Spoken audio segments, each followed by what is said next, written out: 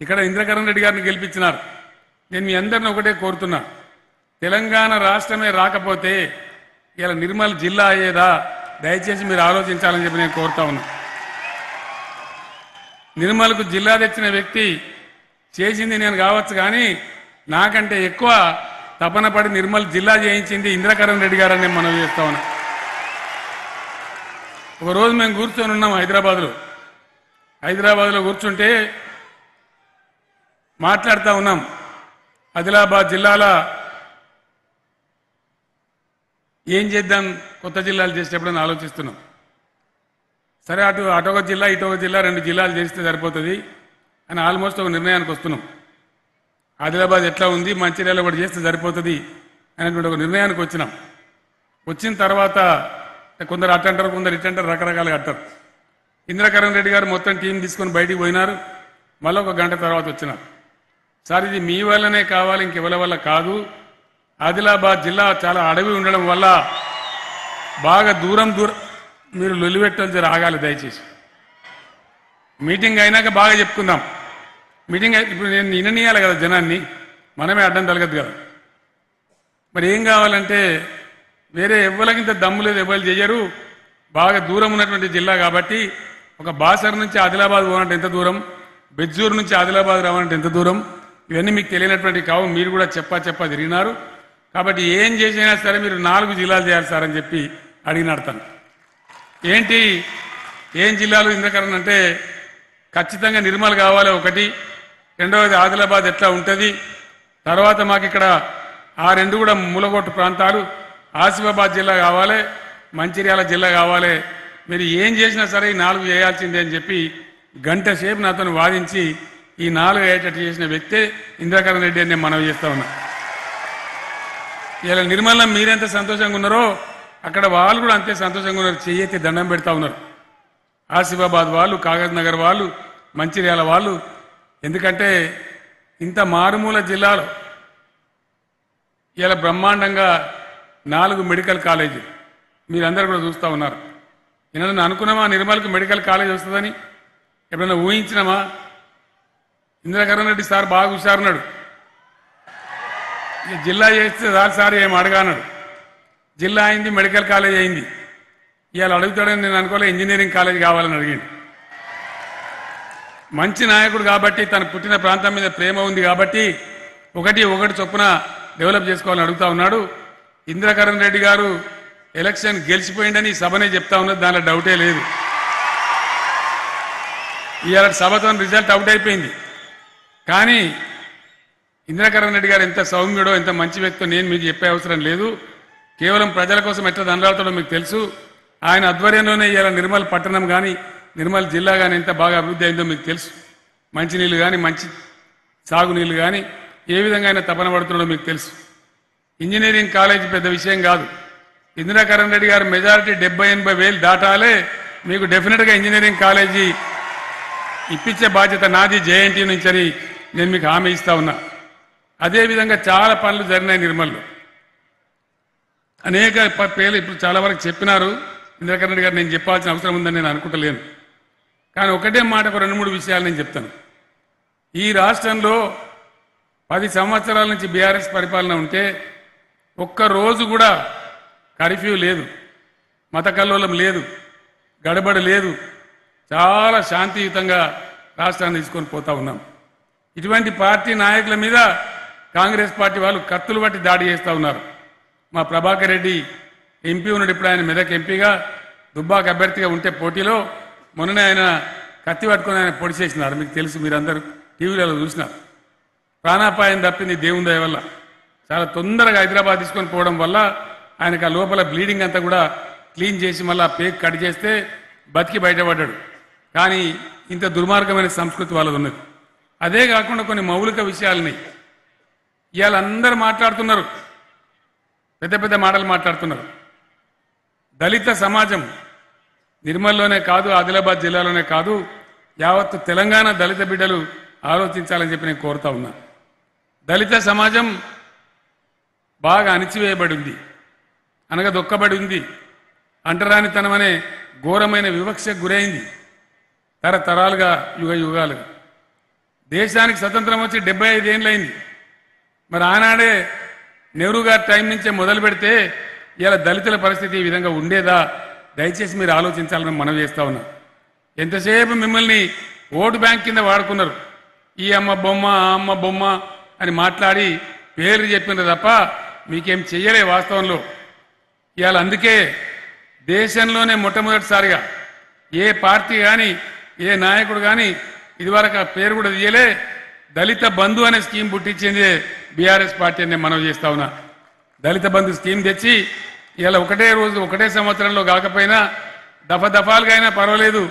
ఆ దళిత సమాజాన్ని ఉద్ధరించాలని మనం ముందుకు పోతున్న విషయం మీరందరూ గమనించాలని మనవి చేస్తా ఉన్నా. ఈ ఆదిలాబాద్ పాత ఆదిలాబాద్ జిల్లాలో బ్రహ్మాండంగా గిరిజనులకు పోడు పట్టాలు ఇచ్చుకున్నాం. నిర్మల్ నియోజకవర్గంలో కూడా ఇచ్చుకున్నాం. వేలాది ఎకరాలు ఇచ్చుకున్నాం. ఖాళీ భూములు ఇవ్వడమే కాదు వాళ్ళకు పాత కేసులు తీసేసినాం. కేసులు తీసేయడమే కాదు ఇమీడియట్గా వాళ్ళకు కూడా రైతు బంద్ ఇచ్చినాం. రైతు బీమాలు కూడా వాళ్ళకు ఏర్పాటు చేసినాం. కాబట్టి వాళ్ళు కూడా వాళ్ళకి త్రీ ఫేజ్ కరెంట్ కూడా ఇస్తూ ఉన్నాం. గిరిజన సోదరులు కూడా బ్రహ్మాండంగా వాళ్ళ వ్యవసాయాలు చేసుకునే అవకాశం ఉంటుంది.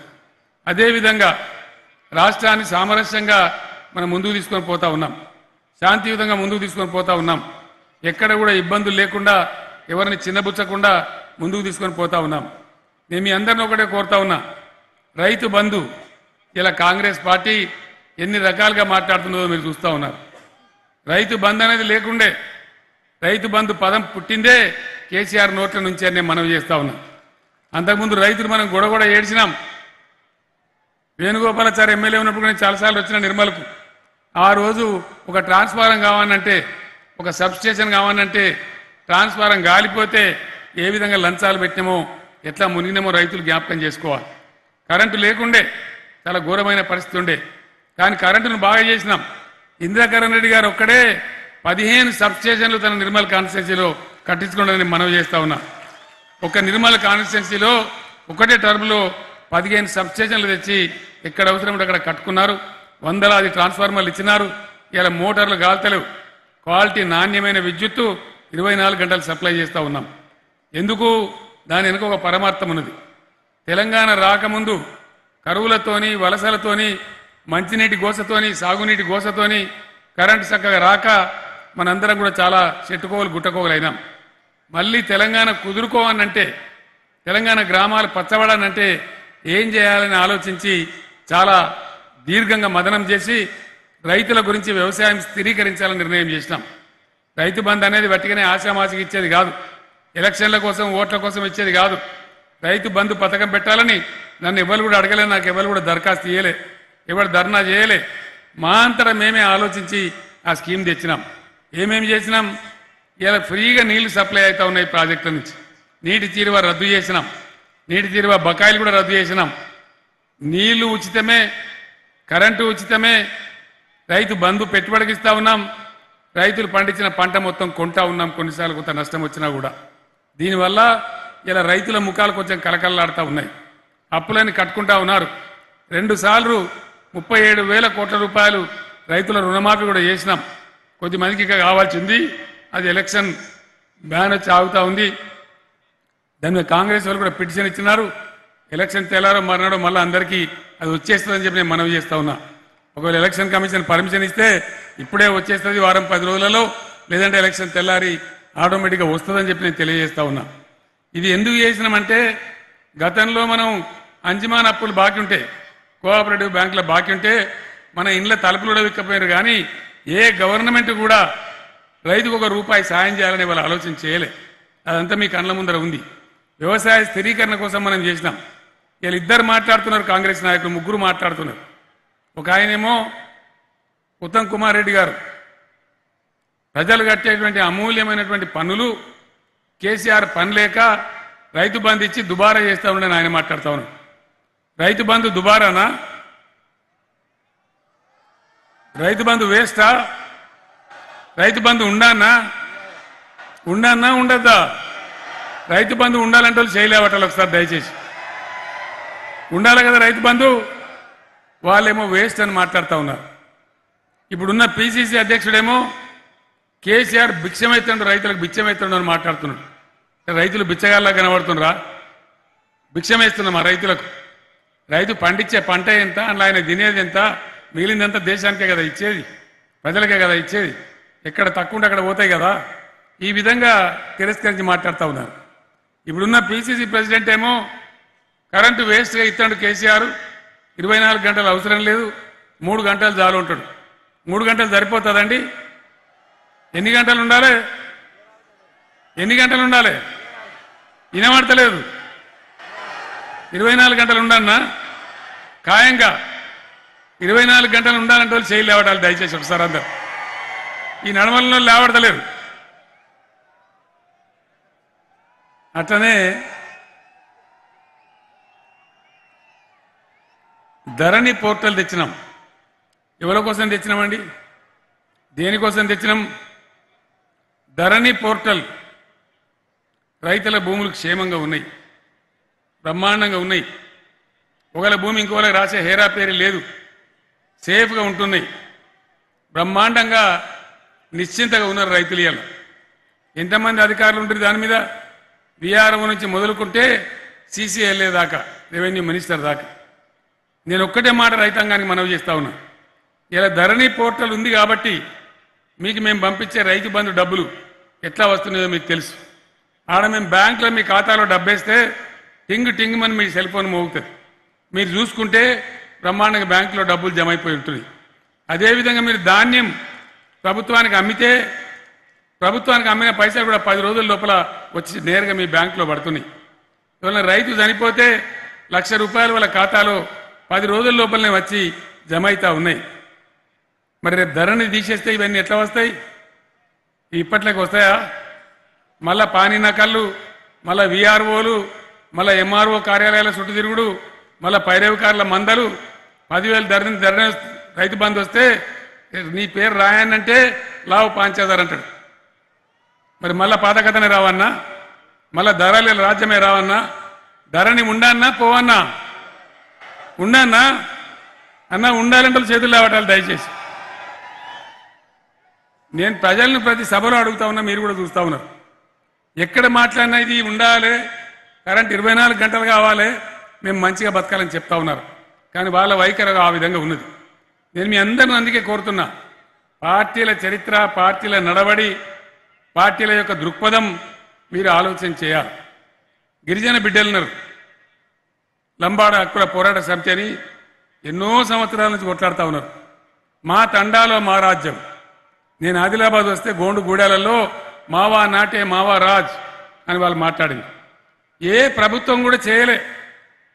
వాళ్ళని పట్టించుకోలే.